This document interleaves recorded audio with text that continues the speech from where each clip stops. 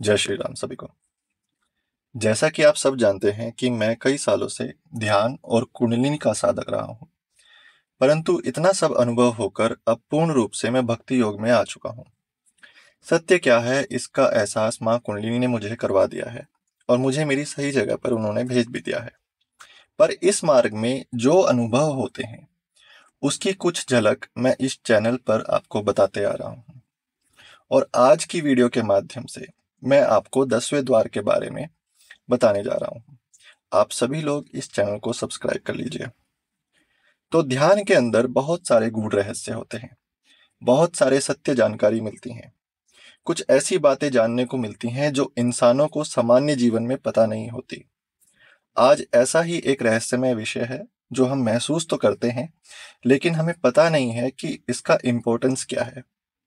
आज का विषय है हमारा शरीर, ध्यान और दसवां द्वार। हमारे शरीर के अंदर योग शास्त्र के हिसाब से दसवां द्वार मौजूद है। दसवां द्वार ऐसे है जहाँ से बाहर जाया जा सकता है।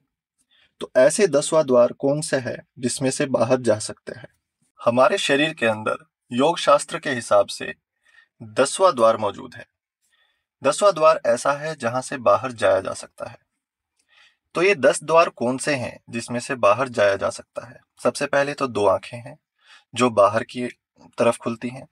फिर दो नाक हो गई, उसके जो द्वार हैं, ठीक है? जो बाहर की ओर खुलते हैं। मुँह जो बाहर की ओर खुलता है, कान जो बाहर की ओर खुलते हैं।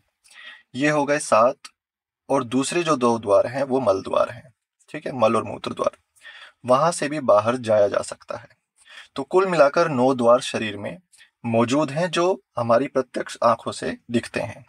पर योग शास्त्र में दस द्वार की बात कही गई है। तो ये दशम द्वार कौन सा है? दशम द्वार जब बच्चा जन्म लेता है तो उसके सिर के अंदर तालू भाग के अंदर एक खालीपन होता है। तालू समझते हो ना ठीक खोपड़ी के ऊपर वाला हिस्सा।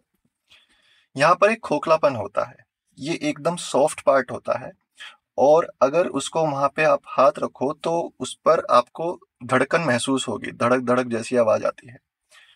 तो वो दसवा द्वार होता है, जो एक साल तक खुला रहता है बच्चे के सिर पे। फिर उसके बाद वो धीरे धीरे बंद होने लगता है। तो ये जो दसवा द्वार है, वही सर्वश्रेष्ठ द्वार है। हमारा शरीर जब गर्भ में बनता है तो शरीर के साथ तीन चीज़ें होती हैं। जब शरीर के अंदर आत्मा प्रवेश करती है तो उसके साथ में कुंडलिनी शक्ति भी प्रवेश करती है। और पिछले जन्म के कर्म भी उसके साथ ही प्रवेश करते हैं। आपने सुना होगा कि बच्चा जब बहुत छोटा होता है और जब तक वो कुछ अन्न या नमक का कुछ चखता नहीं है, तब तक वो अपने पिछले जन्म, पिछले कर्मों को देख देख पाता है, उनको ही वो नज़र में और सोच में रख पाता है और उन्हीं के अनुसार प्रतिक्रियाएँ करता है। धीरे धीरे जब वो अन्न खाने लगता है तो उसके पिछले जन्म, पिछली यादें जो हैं, वो खत्म होने लगती हैं। तो आत्मा और कुंडलिनी शक्ति और कर्म का ये जो लेखा जोखा है, तीनों शरीर के अंदर यहाँ पे तालु भाग से मतलब जहाँ पे बच्चे का सॉफ्ट पार्ट होता है, वहीं से पूरे शरीर के अंदर प्रवेश करते हैं। लास्ट में जाके पहले चक्र, जहाँ पे मल द्वार, हमारा मूत्र द्वार होता है ना, हमारा मूलाधार यानी कि, उस वाली जगह पे वहीं जाके पूरी ऊर्जा स्थिर हो जाती है। सारे कर्म, सारी ऊर्जाएँ सब कुछ वहाँ पे स्थिर हो जाते हैं और आत्मा क्या करती है? वो हमारे हृदय में स्थित होके पूरे शरीर को हृदय के साथ मिलाकर चलाती है। तो ये जो, ये कर्म है, ये जो हमारे पिछले जन्म के कर्म है, जो कुंडलिनी शक्ति है, जो ऊर्जा है, वो सब हमारे सहस्त्र चक्र में से प्रवेश करती है और लास्ट में सबसे नीचे का जो चक्र है, मूलाधार चक्र, जो मल द्वार और मूत्र द्वार से जुड़ा हुआ है, वहाँ पर ऊर्जा स्थित हो जाती है। अब इंसान के अंदर जो ऊर्जा है, वो वहाँ पर जाकर स्थित हो गई, सुसुप्त हो गई तो इंसान को खुद पता नहीं चलता। लेकिन ध्यान करें, अगर तपस्या करें, भक्ति करें, तब उसको अपने अंदर कुछ ऊर्जा ऊपर उठती हुई महसूस होती है। ये भी सबको नहीं पता होता है, क्योंकि जो लोग भक्ति करते हैं, वो किसी ना किसी स्वार्थ के कारण करते हैं तो ये सबके साथ नहीं होता। जो कोई योग करते हैं, कुछ ना कुछ सिद्धि पाने के लिए करते हैं। कोई कर्म करते हैं, वो फ़ेमस होने के लिए करते हैं, जैसे अच्छा कर्म, कोई दान, पुण्य वगैरह। ठीक है, लेकिन कर्म अगर फ़ेमस होने के लिए ना किए जाए, योगदान जो है सिद्धियाँ पाने के लिए ना किया जाए, भक्ति योग कुछ पाने के लिए ना किया जाए तो वो भक्ति शुद्ध होती है, वो योग शुद्ध होता है, वो कर्म शुद्ध होता है। ठीक तो इंसान को अपने ही अंदर ऐसे समय में कुछ ऊर्जा ऊपर उठती हुई महसूस होती है, जब वो निस्वार्थ भाव से इस चीज़ को करता है। इसको कुंडलिनी शक्ति कहते हैं। तो मूलाधार चक्र, उसके अंदर ये शक्तियाँ सोई हुई हैं। सतत ध्यान के कारण, मंत्रोच्चार के कारण, या किसी सच्चे सदगुरु की तपस्या वाले, सच्चे सदगुरु का स्पर्श मात्र से ये कुंडलिनी शक्ति जागृत हो जाती है। कई बार लोग पिछले जन्म में बहुत तपस्या साधना करते हैं। तो इस जन्म में वो इतने भाग्यशाली होते हैं कि या तो सच्चे सदगुरु के सानिध्य में आते ही, या फिर केवल अपनी इच्छा मात्र से ही उनकी जो ये सोई हुई शक्ति है, ये जो कुंडलिनी है, ये धीरे धीरे ऊपर उठना शुरू हो जाती है। पर क्या हो अगर कुंडलिनी शक्ति जागृत होने से पहले ही व्यक्ति की मृत्यु हो जाए? अगर ऐसा होता है, अगर व्यक्ति कुंडलिनी शक्ति जागृत करने से पहले उसकी मृत्यु हो जाती है तो शरीर के अंदर जो नौ द्वार हैं, वहीं से आत्मा निकलती है। अगर मूत्र द्वार से आत्मा निकलती है तो अलग प्रकार की जो गति होती है, व्यक्ति को अलग प्रकार का जीवन प्राप्त होता है। वो मनुष्य योनि में नहीं जाता। ऐसे ही मल द्वार से अगर आत्मा निकलती है तो भी यही होगा। इसी तरह से नाक से आत्मा निकले तो भी अलग शरीर धारण करना पड़ता है। तो अलग अलग शरीर के अंदर कुल ये नौ द्वार हैं। वहीं से मृत्यु के समय में जितने ऊपर के लेवल से अगर शुद्ध और ये पवित्र आत्मा निकलती है, आपके जीवन में गति भी उतनी ही अच्छी होगी। और जितने नीचे के द्वारों से ये हमारी शुद्ध और पवित्र आत्मा निकलती है, उसको उतनी ही नीच गति प्राप्त होगी। पर सर्वश्रेष्ठ गति कौन सी है? ये जो दसवा द्वार है, जिसे हम ब्रह्मरंध्र कहते हैं, ये जो जन्म के समय खुला हुआ था, जहाँ पर आत्मा प्रवेश हुई थी, उसी जगह से अगर ब्रह्मरंध्र से आत्मा का निकलना होता है तो वो सर्वश्रेष्ठ स्थिति होती है, सर्वश्रेष्ठ गति होती है। वो इंसान पुनर्जन्म के चक्कर में नहीं पड़ता। वो इस काल चक्र में पड़े बिना सीधा परमात्मा को प्राप्त होता है, मोक्ष को प्राप्त होता है। तो क्या ये रास्ता ब्लॉक हो चुका है? नहीं। सूक्ष्म रास्ता ये अभी भी बचा है। अगर इंसान अपने आप को शुद्ध और पवित्र आत्मा समझता है तो अंदर की पूरी गतिविधियाँ, ध्यान, योग, भक्ति के माध्यम से ऊर्जा को ऊपर उठाकर एकदम ब्रह्मरंध्र की स्थिति तक पहुँच जाता है। और वो सूक्ष्म ऊर्जा परमात्मा का रास्ता अपने आप ढूंढ लेता है।